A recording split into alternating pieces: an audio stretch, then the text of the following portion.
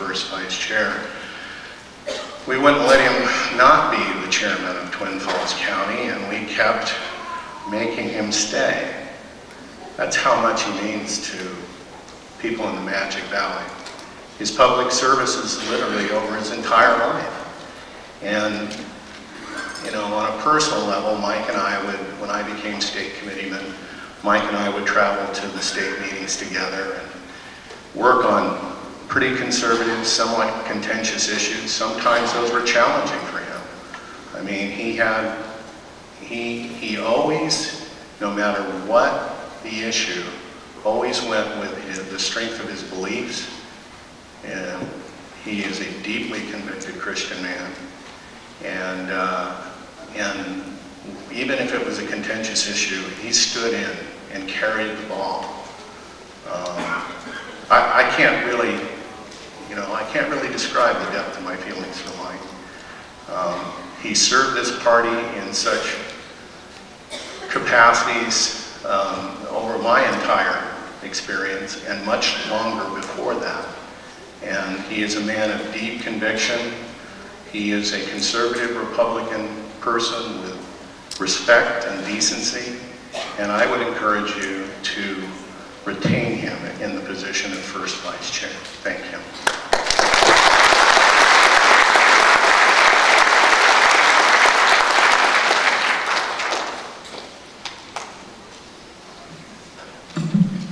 Hi, I'm Amy Taylor, and I'm delegate from Bonneville County. And I've been known to hyperventilate in front of large groups, so I hope I'll bear it. I, I do want to express my appreciation for all of the people that are willing to serve in these positions for our party. I don't know if you know this, but none of them get paid, and they do a lot of work. And I think that it's very admirable that people will volunteer their time and be willing to serve. I do want to speak for a moment about my friend Mike Matthews. I uh, had a, an experience traveling with Mike a, a few times back in Washington, D.C. And we had gone there for our jobs. And although I lived there for a short time, I have no sense of direction and I always get lost. So every time we'd have to walk to our meetings or locations, I would just get with Mike because no matter how many tunnels, no matter how many turns, we always ended up where we were supposed to be. And I don't know how we got there, but Mike always knew where we were going. And that's how I view Mike, and I think that's the type of person that he is. He's just solid, he's secure, he's someone you can trust to lead and guide you to the place that you need to be. I know that he is a dedicated husband and father, I know that by the daily emails and updates I get about his son's ball games. And I really appreciate that. I think that as a party, it's important to us our representation stand for the values that, that, that we hold. He is a lifelong Republican. He has served the party. You probably won't see him out in front making big speeches. He'll be in the back getting the work done, and that's the kind of guy he is. And as first vice chair, we're going to have a new chairman. He's got a lot of institutional knowledge, and I think that he can bring some security and some direction to this party. And he, he will do the will of the people, and, and that's what his desire is, is to serve the party and to serve the ideals that he believes in himself. So with that, I just would like to offer my support to Mike and um, hope that you'll consider him for the nomination of a vice chair. Thank you.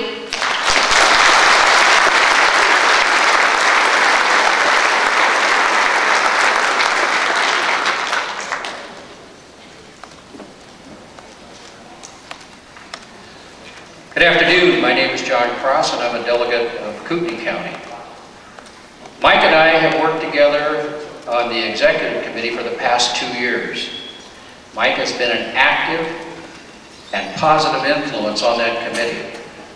I see it as my job here as one of the presenters to give you some of the biographical information that the first two didn't supply. So I, I, want everybody to know how deep uh, Mike's uh, involvement in the Republican Party has been over the years. Mike started out in college as the uh, vice chairman of the College Republicans of Boise State University. And after that, Twin Falls Lincoln Day Chairman for four years, uh, Vice Chairman of the Twin Falls Republican Central Committee, Chairman of the Twin Falls Republican Central Committee from 2000 to 2008, Twin Falls Precinct Committeeman from May of 08 to May of 2010. He's been the first Vice Chairman of the Republican Party, co-chair of the Idaho Republican Hall of Fame Committee, and in 2010, regional campaign coordinator for Governor Butch Otter, Lieutenant Governor Butch uh, Brad Little, and State Controller Donna Jones. And in addition to that, in 1988, he became the legislative correspondent for U.S. Senators Larry Craig and Jim McClure, working in Washington, D.C. In 1995, he was a regional director for U.S. Senator Larry Craig here in Twin Falls, Idaho. That position lasted until 2008.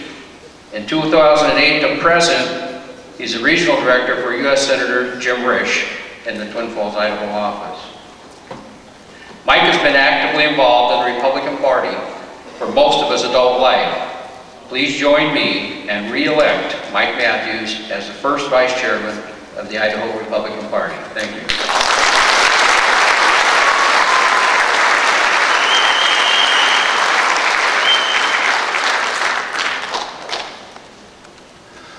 Wow.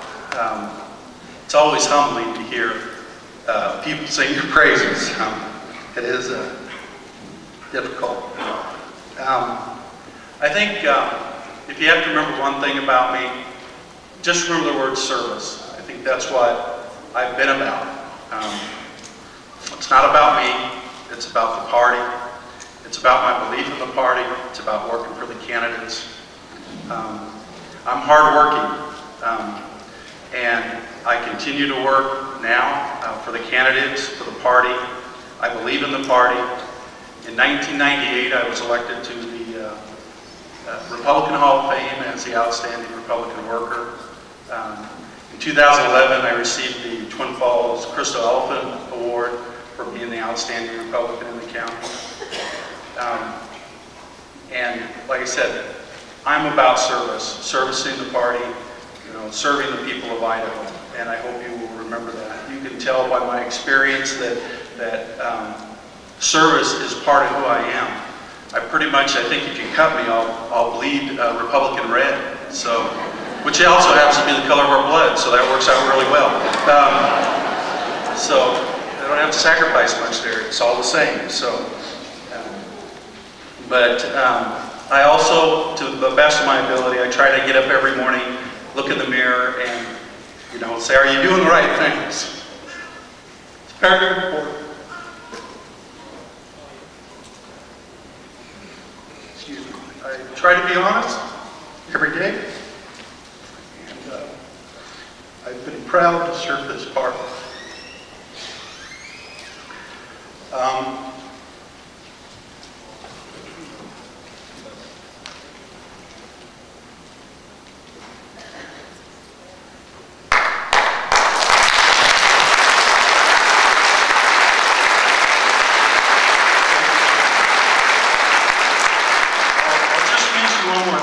I sit down, I apologize. I didn't this. I always say I'm not going to do this when Devin speaks, and I always do. Um, But Amy tou- touched on family, and that's the thing that I'm most proud of, my family. Uh, My my wife, my kids. And that's the core. That's the core of our Republican Party, is the family. So I ask for your support and your vote. Thank you.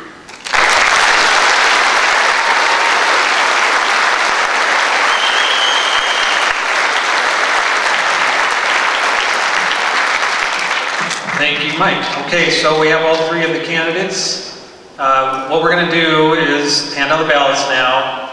Uh, We had a little confusion on the first round of balloting, so what we're going to ask the chairman to do after you get the ballots, and you hand them out to your delegates and your properly seated alternates, if they're sitting in the place of a delegate only, uh, is to bring those ballots forward after you've collected them all from your delegation and place them in the cans that the the youth folks are going to have in the front. Uh, We had a little problem with too many people running into each other. Yes, Mr. Chairman, I don't know if you would call this a point of privilege, perhaps a point of order. I do note that before, that after we reconvened after lunch, we did not take a roll call. Therefore, before we start passing out the ballots and announce the last vote, and start voting on this one, um, I would request, to move or at the very least suggest that we have a roll call so we can ensure that the number of seated delegates matches the number of ballots.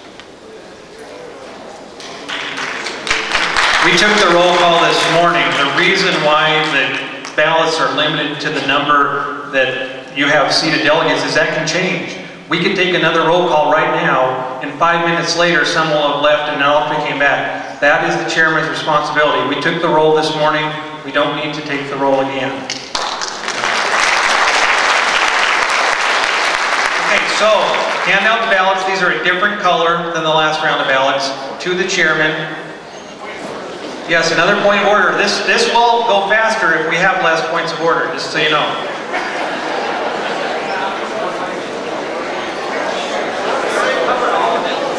Covered all of this. Okay, to remind folks, vote for who you want.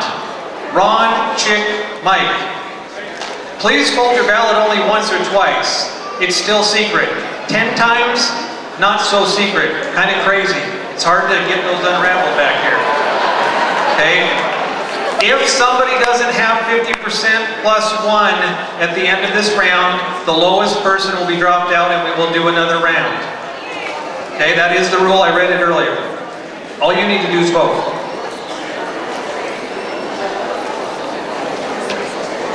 Again, chairman, collect the ballots from your delegation and bring, as the chairman, bring all those ballots forward to the cans that the youth delegates have here. Not individually, give the ballots to your chairman when you're done with them.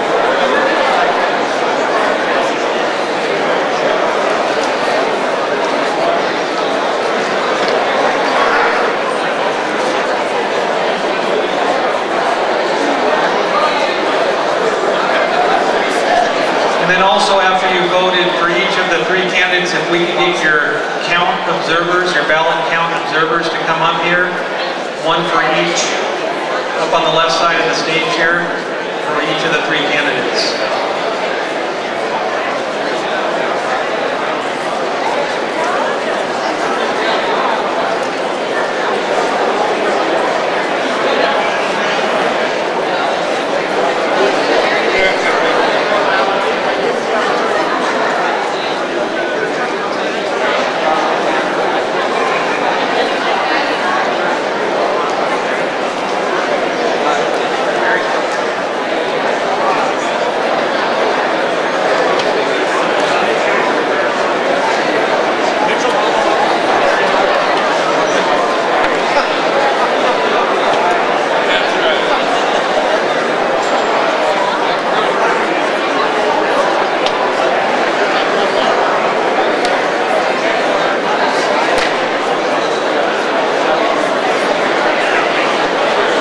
Chairman collect the ballots from your delegates and put them in the can, come forward to the youth delegates.